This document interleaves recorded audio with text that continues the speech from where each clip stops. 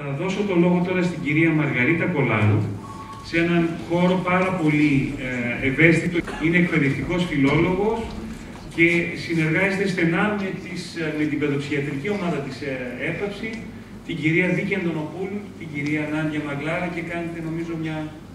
Γίνεται μια πολύ σημαντική δουλειά στα σχολεία. Καλησπέρα και από μένα. Καλώς ήρθατε.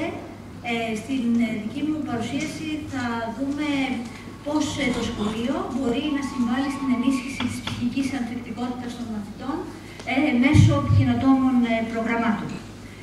Ε, Αρχίζοντας, θεωρώ ότι είναι πολύ σημαντικό να αποσαφηνίσουμε τι εννοούμε με τον όρο ψυχική ανθεκτικότητα. Η ψυχική ανθεκτικότητα είναι η ικανότητα του ατόμου να ανακάμπτει από τις αντικσότητες και τις δυσκολίες που παρουσιάζονται στη ζωή του, χωρίς ωστόσο αυτό να σημαίνει ότι το άτομο αυτό δεν πληγώνεται. Ένα άτομο το οποίο είναι ψυχικά ανθεκτικό δεν είναι ένα άτομο το οποίο είναι άτρωτο, έχει και αυτό τις δύσκολες στιγμές του, ε, είναι πολλές φορές ε, που είναι μπερδεμένο και χρειάζεται βοήθεια, όμως έχοντας χτίσει την ψυχική ανθεκτικότητα μπορεί πιο εύκολα να ανταπεξέλθει στις δυσκολίες της ζωής. Η ψυχική ανθεκτικότητα δεν είναι ένα έμφυτο χαρακτηριστικό, δεν είναι κάτι που έχει κάποιος ευγενετήσει ή δεν το έχει. Είναι κάτι το οποίο χτίζεται σε όλη τη διάρκεια της ζωής ε, του ανθρώπου και στο συγκεκριμένο σημείο ε, θα δούμε πώς το σχολείο έχει τη δυνατότητα να ενισχύσει και να προάγει την ψυχική ανθεκτικότητα των μαθητών, ειδικά σήμερα που η καιρή είναι ιδιαίτερα δύσκολη για τους νέους, η οικονομική κρίση, η ανεργία, ε, είναι πολλά πολύ σημαντικά ζητήματα που απασχολούν όλους τους νέους ε, σήμερα. Ε, Εμείς από την πλευρά των εκπαιδευτικών μπορούμε να κάνουμε κάποιες ενέργειες έτσι ώστε να αυξήσουμε αυτή την ψυχική ανθεκτικότητα των μαθητών μας. Αρχικά, ε, είναι απαραίτητο να θέτουμε ξεκάθαρους και ρεαλιστικούς εξατομικευμένους στόχους. Αυτό σημαίνει ότι πρέπει όλοι να αποδεχτούμε ότι ε, οι μαθητές μας είναι όλοι διαφορετικοί. Έτσι, θα πρέπει εμείς να θέτουμε διαφορετικούς στόχους κάθε φορά για τους μαθητές μας και να είμαστε έτοιμοι να επενέσουμε όταν αυτοί έχουν ε, καταφέρει να πραγματοποιήσουν τον στόχο αυτό. Ε, είναι απαραίτητο να θέτουμε ξεκάθαρες και συνεπείς προσδοκίες ε, από το τι περιμένουμε από τα παιδιά. Και στο σημείο αυτό θα ήθελα ε, να πω ότι είναι σημαντικό στην αρχή κάθε σχολικής χρονιάς ε, ο Σύλλογος Διδασκόντων ε, να συζητά και να συναποφασίζει ποιο θα είναι το πλαίσιο λειτουργίας του σχολείου όσον αφορά τους κανόνες ε, που θα διέπουν τη σχολική χρονιά, έτσι ώστε να υπάρχει ένα ενιαίο πλαίσιο προσδοκιών ε, απέναντι σε όλους τους μαθητές από όλους τους εκπαιδευτικούς. Οτιδήποτε άλλο δημιουργεί ιδιαίτερη σύγχυση στους μαθητές και τους μπερδεύει. Ε, ιδιαίτερα σημαντική είναι η προαγωγή της αυτοεκτίμησης των μαθητών μας και αυτό μπορεί να γίνει με εκπαιδευτικούς οι οποίοι νοιάζονται, ακούν ενεργά τα παιδιά, τα συμβουλεύουν, τα επενούν, δεν τα κρίνουν, δεν τα ειρωνεύονται και δεν τα απαξιώνουν. Είναι επίσης σημαντικό ε, να υπάρχουν στα σχολεία, στα σχολεία προγράμματα πρόληψης και αντιμετώπισης της ενδοσχολική βίας. Ε, η ενδοσχολική βία είναι ένα φαινόμενο ε, που έχει ιδιαίτερη έξαρση ε, σήμερα. Είναι πολύ σημαντικό να επιλύονται οι συγκρούσεις και οι διαμάχες ε, μέσω του διαλόγου στο σχολείο ε, με ειρηνικό τρόπο. Στο σημείο αυτό θα ήθελα να πω ότι είναι σημαντικό οι μαθητές να αναγνωρίζουν ε, και να, εκφράζουν τα, να, να μάθουν να αναγνωρίζουν και να εκφράζουν τα συναισθήματά τους ακόμα και τα αρνητικά. Ε, πρέπει να μπορούν ε, να εκφράζουν ε, το θυμό τους, την αγωνία τους, το φόβο τους ε, και οτιδήποτε άλλο τους απασχολεί, να αποδέχονται τα συναισθήματά τους αυτά και να μάθουν να διαχειρίζονται ε, τις συμπεριφορές που προκαλούνται από τέτοιου είδους συναισθήματα. Στο ίδιο πλαίσιο είναι σημαντικό να ενισχυθούν ακόμα οι θετικές συμπεριφορές, το σχολείο πρέπει να ενθαρρύνει κοινωνικές συμπεριφορές όπως την προσφορά βοήθειας, το μοίρασμα ιδεών και συναισθημάτων και να προάγει γενικότερα τη συνεργασία. Όλα αυτά είναι χαρακτηριστικά ε, που αν λειτουργήσουν σωστά σε ένα σχολείο χτίζουν την ψυχική ανθεκτικότητα του ατόμου.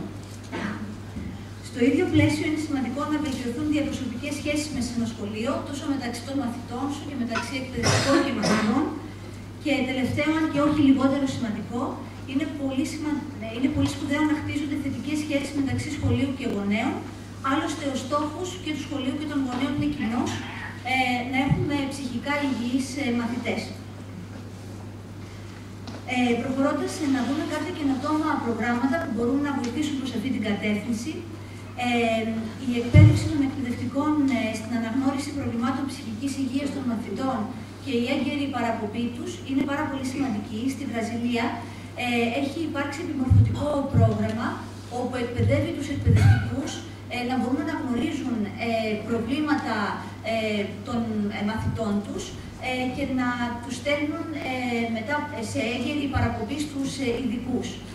Να πω ότι εμείς ως εκπαιδευτικοί εδώ στην Άνδρο είμαστε ιδιαίτερα τυχεροί γιατί τα τελευταία τέσσερα χρόνια έχουμε την ευκαιρία να παρακολουθήσουμε σε μηνιαία βάση συναντήσεις με το κλιμάκιο της κινητής μονάδας του ΕΠΑψη. Οι συναντήσεις για εμάς τους εκπαιδευτικούς είναι χωρίς κόστος. Ε, μια φορά το μήνα συναντιόμαστε, ε, λύνουμε τις απορίες μας, ε, συζητάμε θέματα που μας ενδιαφέρουν, ε, επιμορφωνόμαστε, γιατί δεν τα ξέρουμε όλα και έχουμε ανάγκη να μάθουμε και πολλά περισσότερα ε, και σε θέματα τα οποία μας ξεπερνούν έχουμε τη σημαντική, σημαντική αρρωγή των ε, ειδικών. Ε, να πω ακόμα ότι στο εξωτερικό λειτουργούν και προγράμματα που εμπλέκουν όλη τη σχολική κοινότητα, εκπαιδευτικούς, μαθητές και γονείς, στην επίλυση προβλημάτων συμπεριφοράς, ενδοσχολική βίας, χρήσης ουσιών, πρόληψης συναισθηματικών θεμάτων. Ε, τα συγκεκριμένα προγράμματα εκπονούνται από ειδικούς σε συνεργασία με το κάθε σχολείο ξεχωριστά.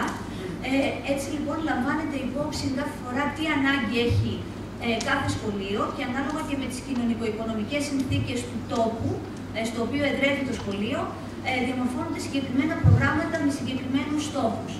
Ένα τέτοιο χαρακτηριστικό πρόγραμμα, ε, για όποιον θέλει να ανατρέξει στο διαδίκτυο και να βρει πληροφορίες, έχει τον τίτλο The Incredible Years. Μπορείτε να βρείτε πληροφορίες στο διαδίκτυο γι' αυτό. Ε, να μιλήσω τώρα πιο συγκεκριμένα για το πρόγραμμα της σχολικής διαμεσολάβησης, το οποίο είναι ένα πρόγραμμα που εφαρμόσουμε φέτος στο σχολείο, στο οποίο εργάζομαι, στο Επερίκιο Γυμνάσιο Άνδρου. Ε, να δούμε τι είναι η σχολική διαμεσολάβηση.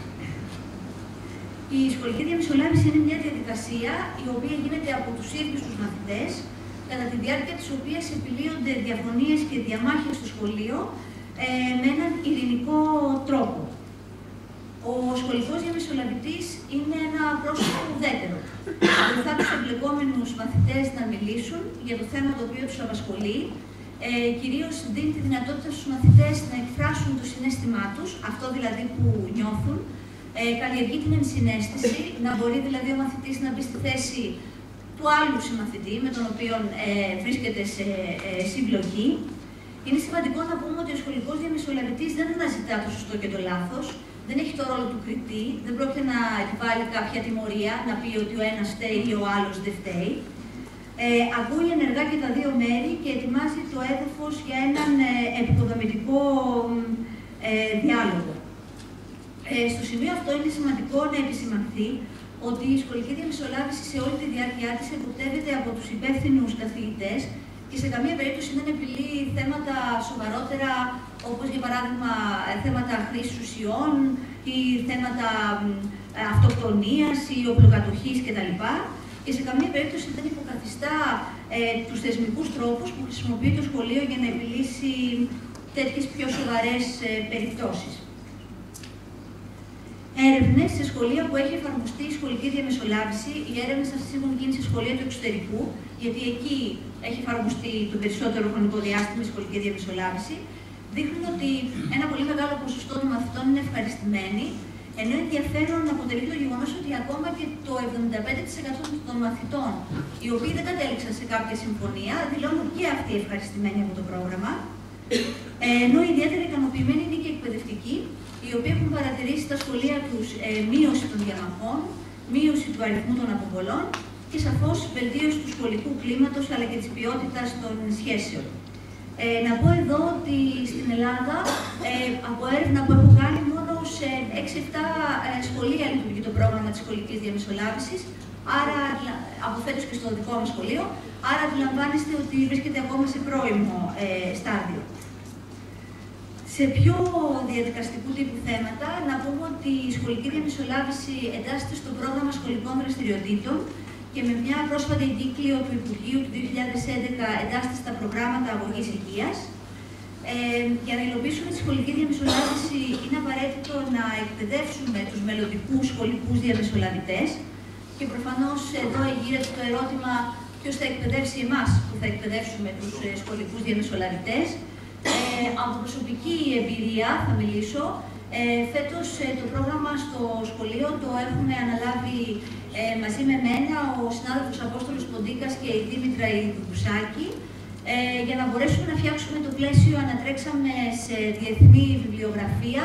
Ε, έχει ενδιαφέροντα άρθρα που μας βοήθησαν να δούμε πώς θα φτιάξουμε το πλαίσιο και θα ήταν ε, παράλυση μου στο σημείο αυτό να μην ε, πω και για την πολύ σημαντική βοήθεια της Βίκης της Αντωνοπούλου, ε, ε, παιδοψυχιάτρου που έπαψη, ε, με την οποία συναντιόμαστε μία φορά το μήνα, εμείς οι υπεύθυνοι ε, εκπαιδευτικοί, ε, και συζητάμε διάφορα πράγματα που μας απασχολούν όσον αφορά το πλαίσιο της σχολικής διαμεσολάβησης, προβληματισμούς οι οποίοι ε, βγαίνουν κάθε φορά στην ε, πορεία.